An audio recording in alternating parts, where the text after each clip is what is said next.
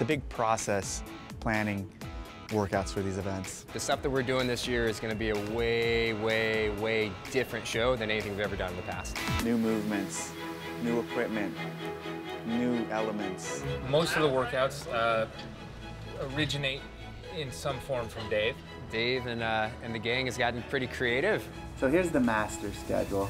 And so there's stuff going on all day, obviously. This has been programmed over the last year and a half. A lot of times in programming for an event like this, you put down all these ideas into one workout, it gets real big, and then you just start chipping away so you have something nice and usable. I guess say we had Jason McDonald test out a version that took him 15 minutes. That was too fast. So we're beefing it up.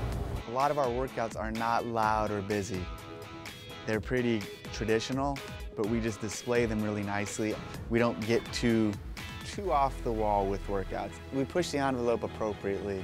And it's important too that when you trench it, this is the front edge and we got to trench it twice. The logistical challenges are always pretty extreme. What's the plan for field maintenance period on this stuff? Most sports you set up the field of play and then you play all day and then you break it down at night.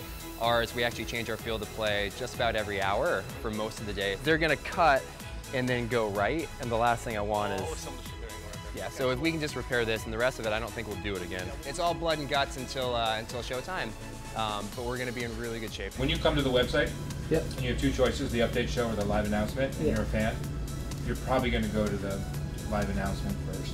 We have a huge media operation.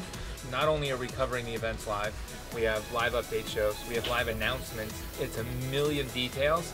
The test of fitness is first, but it's got to look great on camera. Fortunately, what we do does look great on camera, so it's a it's not a conflict. It's just a matter of fitting all the puzzle pieces together.